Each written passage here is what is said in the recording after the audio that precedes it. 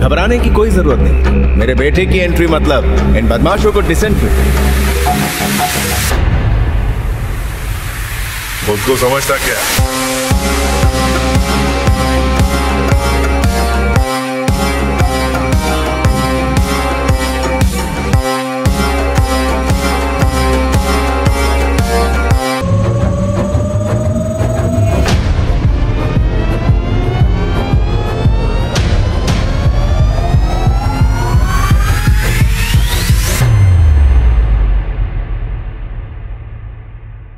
होगी Student of the Year three की star cast.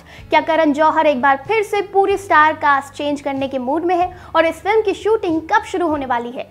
Hello दोस्तों, मैं सोनिका जुयाल, स्वागत करती हूँ आपका हमारे चैनल बॉलीग्रास स्टूडियोज में। हीरे की परख जौहर को होती है और हीरो की परख जौहर को होती है। ये डायलॉग एकदम सटीक बैठता है करण जौहर पर। करण जौहर अक्सर अपनी फ़िल्मों में नए नए स्टार्स को कास्ट करते ही रहते हैं लॉन्च करते ही रहते हैं और खासकर स्टार किड्स को लॉन्च करने में उनका ज़्यादा ही इंटरेस्ट है।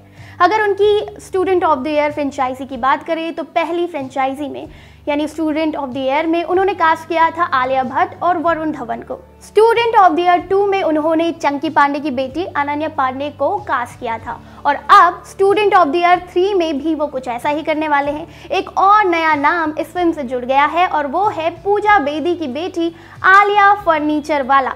वैसे ये आलिया की पहली फ़िल्म नहीं है, वो ऑलरेडी बॉलीवुड डेब्यू कर चुकी है अपनी फ़िल्म जवानी जाने मन से, जो हाल ही में रिलीज़ हुई थी। इस फ़िल्म में उन्होंने सैफ अली खान की बेटी का किरदार किया था। इस फ़िल्म में उनकी एक्टिंग को काफ़ी पसंद किया गया और लोग उनके फ़ैन हो गए।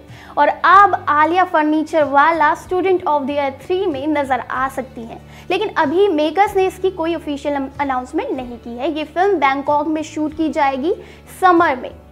तो दोस्तों, आप हमें बताइए कि आपको आलिया फर्नीचर वाला को इस फ़िल्म में देखने का कितना इंतज़ार है और साथ ही बाकी किन स्टार्स को आप इस फ़िल्म में देखना चाहते हैं, लिख डालिए अपनी राय नीचे कमेंट सेक्शन में।